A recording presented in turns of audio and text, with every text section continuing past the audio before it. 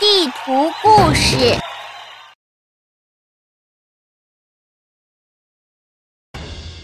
哎，我不会放过你们的，同乐城。哎，海龟博士。哈哈哈哈哈！啊，果然是箩筐。你真是个伟大的科学家，海龟博士。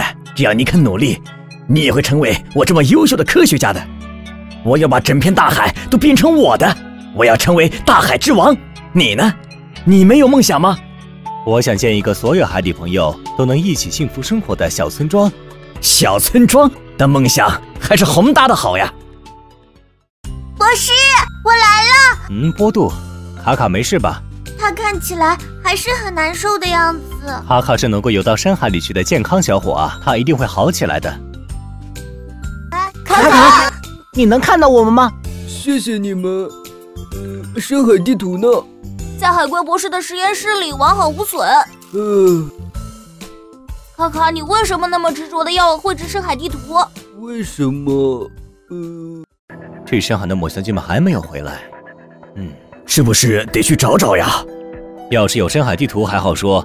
如果盲目去找，就连你也会陷入危险的。我听一个叫罗佐的说，他好像有深海地图。啊啊！对你不是跟他一起研究过？你应该知道吧？他可是个聪明的家伙，一定有精确的山海地图。您一路顺风，卡卡，爸爸一定会平安回来的。爸爸那天拿着罗佐给他的深海地图去了深海。快到了。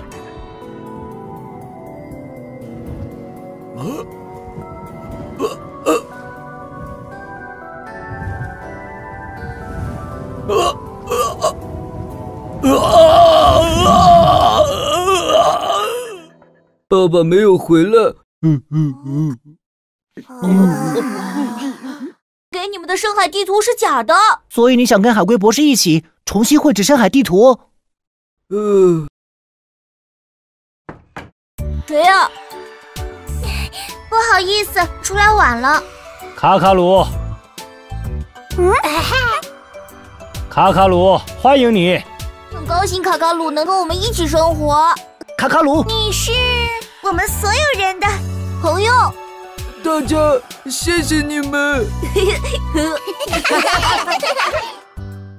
您，您，海，海，叫，叫，一起，一起，对，对。